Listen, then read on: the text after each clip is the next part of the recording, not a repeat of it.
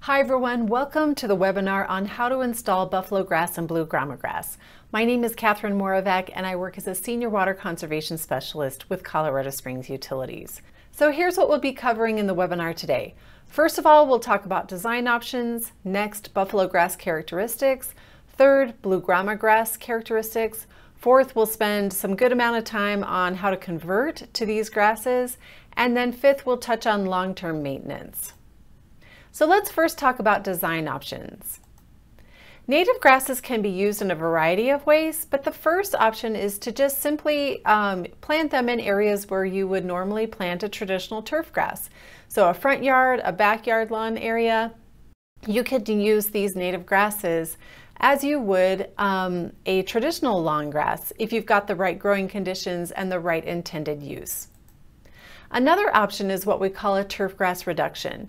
A turfgrass reduction is simply where you have a large area covered by traditional turfgrass that you'd like to um, reduce. So you keep a small area of your traditional lawn and then in the areas where you took out the grass, you would install blue grama grass or um, buffalo grass in those areas. Another option is to use these grasses in naturalistic landscapes. So if you have an area that transitions into open space or you're just looking for a more informal look, both buffalo grass and blue grama grass can be great options. Keep in mind that you can always use more than one type of grass in your landscape. So in this example, we used buffalo grass in the front lawn because it's more of a moderate traffic tolerance type of grass. And then we've installed Kentucky bluegrass in the backyard because it has a higher traffic tolerance than either buffalo grass or blue grama. So let's talk briefly about buffalo grass's characteristics so you can determine if it's a good match for you. Buffalo grass is a native grass that is commonly found on the eastern plains of Colorado. It typically grows in areas where there's some clay content in the soil. Now it will grow in those treeless plains, so buffalo grass does require full sun, but um, can be used with significant water savings in the landscape. Rather than watering a traditional lawn three times a week, buffalo grass can be watered once per week and look very nice or even less. Buffalo grass is quite a short grass. It only grows to about three to six inches tall. So it can be a really good option if you want to do a lawn replacement or just plant an, a lawn area with buffalo grass. Uh, because it only grows to about three to six inches tall, you can significantly reduce your mowing. Um, buffalo grass can be mowed as little as one to three times per summer. Buffalo grass does have runners that go across the ground, across the soil surface, and because it's got these runners, those runners have the ability to fill in any bare areas of soil. So buffalo grass can be used in medium traffic um, areas. Buffalo grass really only works in the Colorado Springs area up to about 6,800 feet in elevation. Once you get above that, buffalo grass really just doesn't have a long enough growing, growing season to be a good addition to a landscape. Buffalo grass definitely has a lighter green color than a traditional lawn, but this can be a really nice asset for Colorado landscapes. It is green from mid-May to the beginning of October, um, so keep that in mind when you're considering it as an alternative. Buffalo grass um, has this shorter green period because it's a warm season grass. Traditional long grasses are cool season grasses, meaning they grow best in the cool weather of spring and fall. Now, buffalo grass and blue grama grass are different in that they grow best during the hot season of June, July, and August. So in this photograph taken on October 7th, you can see that the Kentucky bluegrass in the back of the picture is green and growing, while the, the buffalo grass in the foreground of the picture is um, starting to go dormant. Buffalo grass can be a really great option for many Colorado Springs landscapes. However, it's not a good match for your site if you have a need for high traffic tolerance, if your site's location is above 6,800 feet in elevation, if your landscape receives less than six hours of sun per day, or if the sun is very sandy. In these um, types of situations, buffalo grass just really won't perform very well for you and you'd be better suited using a different type of grass. So let's move on to blue grama grass characteristics. Blue grama grass, once again, is a native grass that grows throughout Colorado. And unlike buffalo grass, it grows on a wide variety of soils, including sandy or rocky soils. It also grows on the treeless plains, so it does require full sun. Um, the blades of blue grama grass are a little bit taller, about 6 to 18, 18 inches tall, and you can water blue grama grass in the landscape once per week or less, just like buffalo grass. So there is significant water savings with blue grama grass as well. Blue grama grass will um, produce its leaves throughout the spring and midsummer, and then it will start to produce these seed heads in August. They um, rise above the blades of the grass and look like little eyelashes. Some people really like the look of the seed heads and you can keep them in place all winter, or you can mow them off if you don't like the way they look. Blue grama grass has a really light blonde yellow color in winter, um, but it does need to be mowed less often than a traditional lawn. It's best to leave it a little longer. So you can uh, mow it as little as once in the month of February just to remove all the dead material, or you can mow it up to once per month if you like it a little bit more neat and tidy looking. Blue grama grass, just like buffalo grass, is a little bit lighter green in color has a very similar green period from mid-May to early October, just like buffalo grass because it is a warm season grass. Um, but blue grama grass can work at higher elevations. It is used in landscapes up to about 7,500 feet in Colorado and still performs very well. Blue grama grass, because it needs to be left a little bit longer, um, is a really good match for naturalistic landscapes, informal designs, very hot, dry, sunny areas. It's a great um, grass to use in those types of landscapes. The reason why you need to leave it a little bit longer is that if you mow it short on a regular basis, you'll get a lot of weeds invading the grass area. Blue grama grass is best used in low traffic areas. Because it's a bunch grass, it doesn't have the ability to fill in any areas where the grass is damaged. So it's best to use it in areas where you don't have consistent foot traffic from kids or dogs in that location. But it can make a really good grass um, for large, low use areas. Because it has a relatively low mowing requirement and low water requirement, it can be a great addition to large landscapes that just need something covering the soil. Because of the way that blue grama grass naturally grows, don't use it in your landscape if you need a grass area with a lot of um, foot traffic tolerance, if your elevation is above 7,500 feet, or if you have less than six hours of sun per day. If you have those site characteristics, a different grass will be a better match for you. So now let's talk about how you can install buffalo grass or blue grama in your landscape. Now this is a little bit different than how you might install traditional sod because you need to install buffalo grass or blue grama from seed or plugs. So let's talk about how to do that successfully in the Colorado Springs area. These are the eight steps that we use to install buffalo grass and blue grama. Here they are. First, we'll talk about removing existing grass and weeds. We'll talk about rototilling or core aerating. Then third, raking the soil surface smooth. Fourth, making sure you have an establishment watering permit to be able to water your new seed or plugs. We'll talk about planting. Then we'll talk about the watering schedule, how to fertilize, and how to control weeds so that your project is successful. The first thing you need to do is just plan the schedule of your project so you'll be successful. Sometime in May is a good time to start removing your vegetation if you're dealing with an existing landscape because the best planting window for buffalo grass and blue grama is sometime between June 1st to August 15th. Because these are warm season grasses, you'll want to plant your seed or your plugs um, in that window of time because they will germinate and start to grow new roots while the air temperature and the soil temperature are warm in midsummer. So let's talk about step one, removing existing grass and weeds. This is a very important step. If you have a landscape that looks like this, it can be really tempting to plant your seed or your plugs into this existing bare area. But that is generally not a successful approach you need to go ahead and remove any existing grass and weeds um, so that you can give your buffalo grass or blue grama a great planting site so it will grow successfully. Now there are four different ways that you can remove existing grass and weeds from your landscape. You can cover the area with cardboard and mulch, let that sit for a few months, remove it, and then rototill that um, dead grass into the soil. You might do the same type of method with um, light blocking tarps.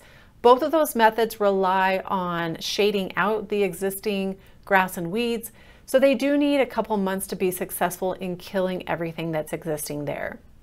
You can also um, use an herbicide to um, kill existing grass and weeds. That's certainly an option that people use. Or if you uh, want to, you can use a sod cutter to remove um, the existing grass and weeds.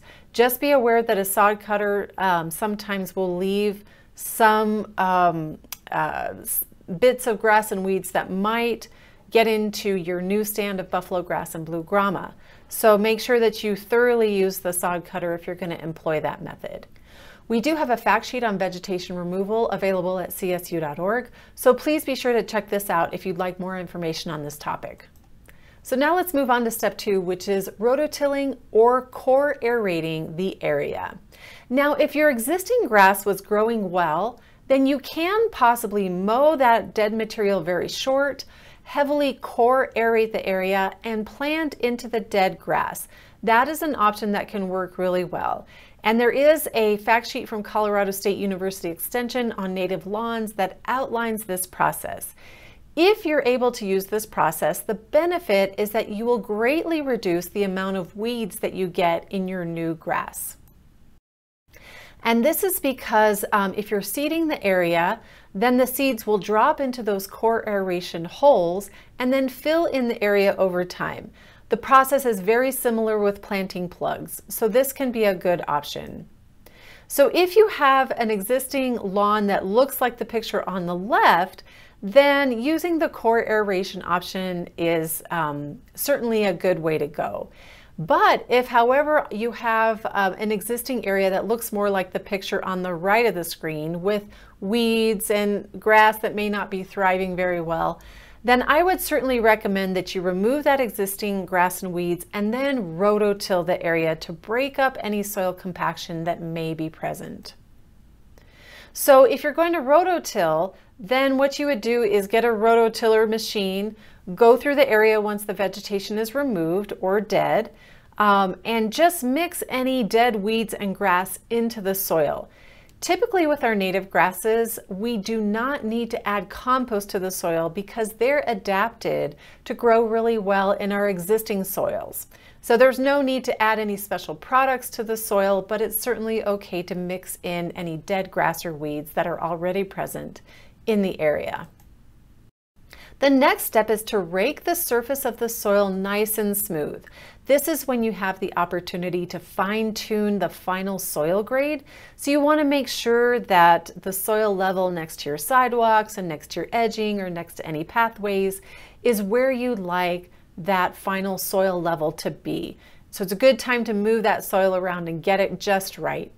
Now, once you do that, if your soil um, is very light and fluffy, it may be a good idea to use a roller to firm that seed bed up if necessary. If the soil is not extremely light and fluffy, then you can just go ahead and seed or plant into the soil once you've got it raked smooth.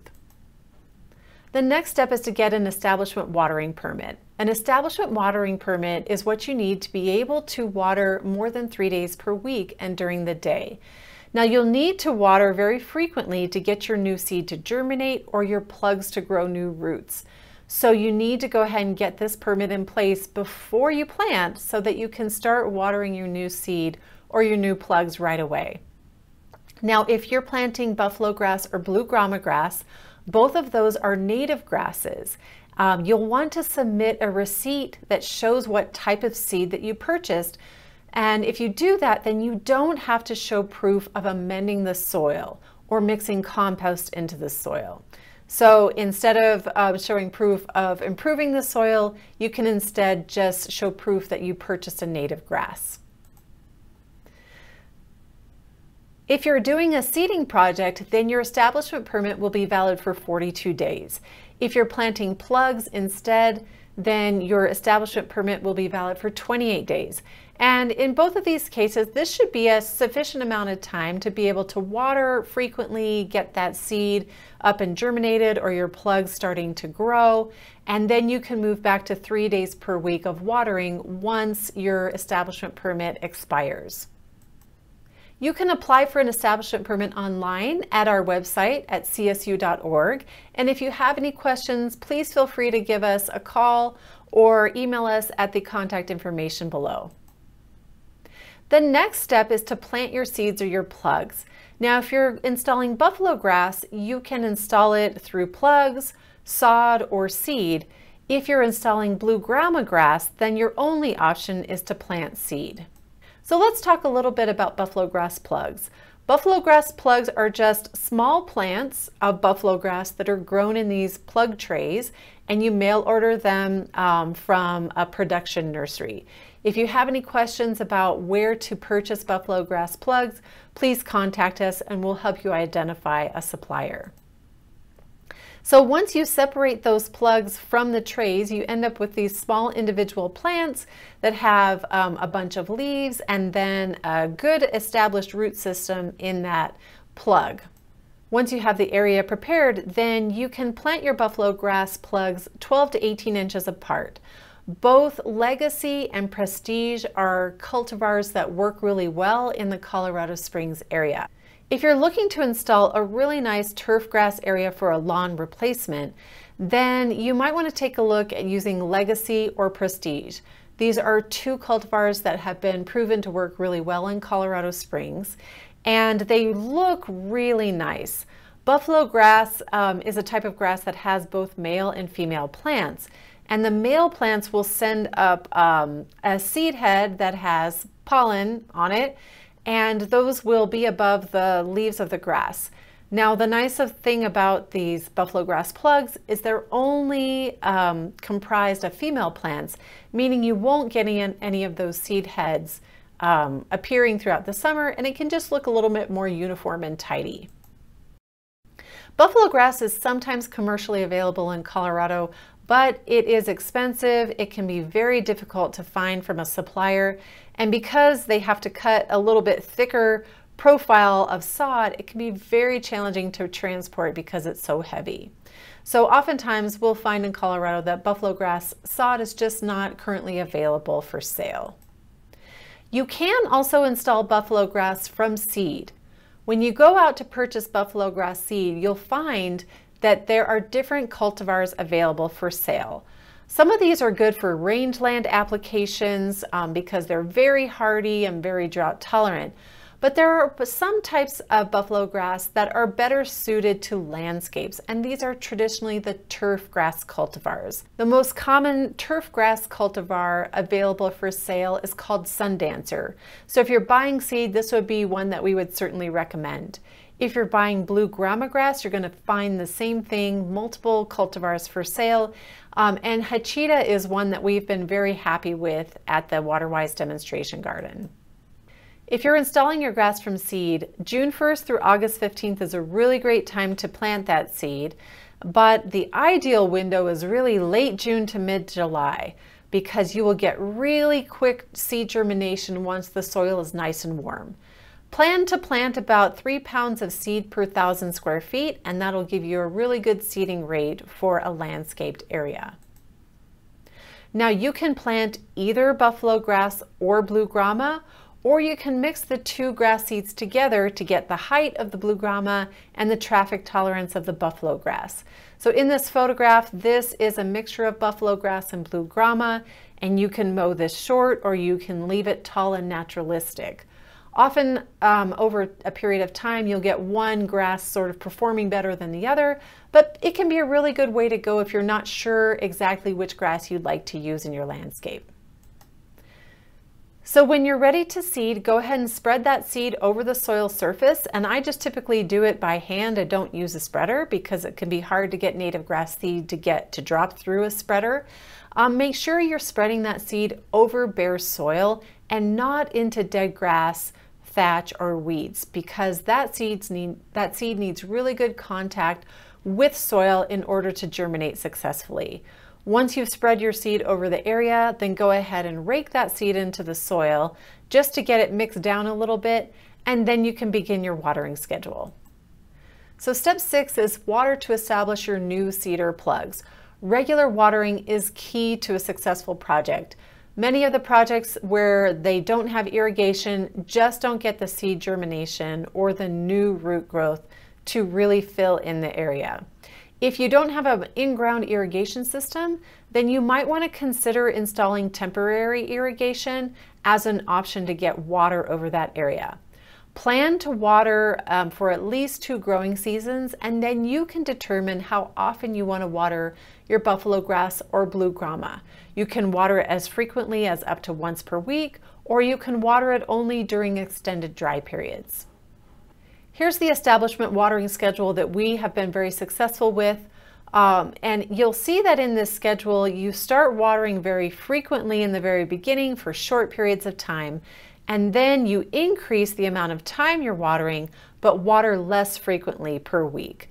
So um, right after you seed for weeks one and two, we would recommend running your um, sprinkler system for just a short period, five minutes at a time, two to three times per day. And I've had very good luck with watering on a schedule of 9 a.m., 1 p.m., and 5 p.m.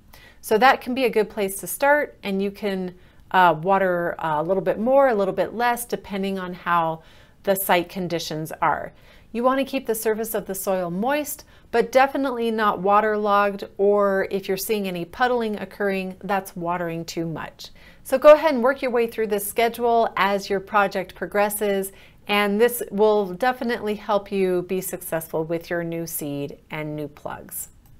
Step seven is to fertilize for rapid growth. Once your seed is up and germinated or your plugs start to grow, it may look pretty sparse with some bare areas in between. If you'd like to get your grass to fill in faster, you can certainly use just a standard lawn fertilizer to promote rapid growth. Our turf grass specialist with Colorado State University Extension has been very successful with fertilizing buffalo grass. He recommends that you can apply up to half the recommended rate of fertilizer on the bag or a half a pound of nitrogen per thousand square feet up to once per week. And then within a few months, you'll have really good grass coverage over the area. The eighth step is to control any weeds. If you're planting plugs, you can use a pre-emergent herbicide to cut down on the amount of new weeds that are growing in between those small plants until they fill in.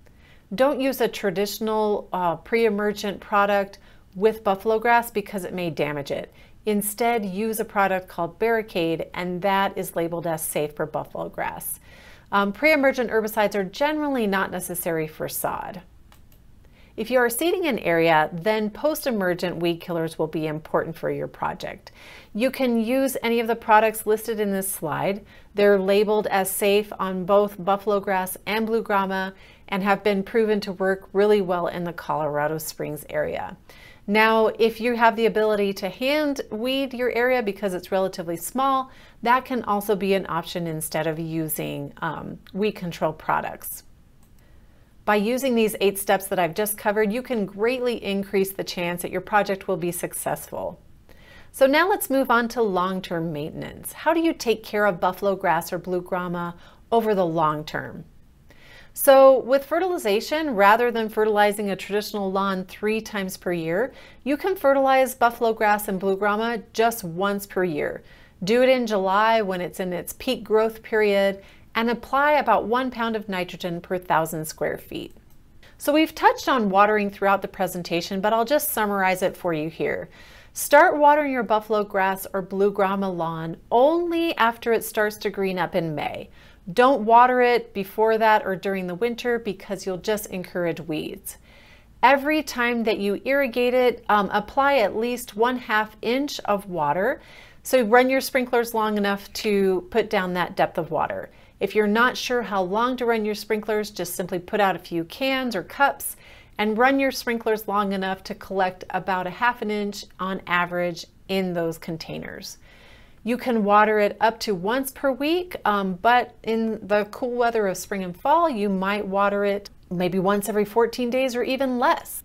If you choose not to irrigate your buffalo grass or blue grama grass, then it will be green when we get precipitation from Mother Nature, and then in extended dry periods, it will be brown and dormant, but it will come out of dormancy once moisture returns. The nice thing about buffalo grass and blue grama is they don't require any winter watering. So now let's talk about mowing. You can mow both of these grasses when they get about three inches tall or taller. You can leave them tall throughout the growing season and just mow them once in February to remove the dead material. Or you can mow them more often, up to once per month throughout the growing season. I just want to point out that blue grama may get a lot of weeds if you mow it too often and water it too much. So let blue grama get a little bit taller um, and you'll be very happy with it. Before you make your final decision on installing buffalo grass or blue grama grass, you might want to come and see what it looks like in person. You can certainly do that at our Waterwise demonstration garden located at 2855 Mesa Road. It's free and open to the public during daylight hours any day of the year. You can always come and take a look at these grasses in person at the demonstration garden to see if they're going to be a good fit for you. So thanks for viewing this webinar and we wish you the best of success with your buffalo grass or blue grama project.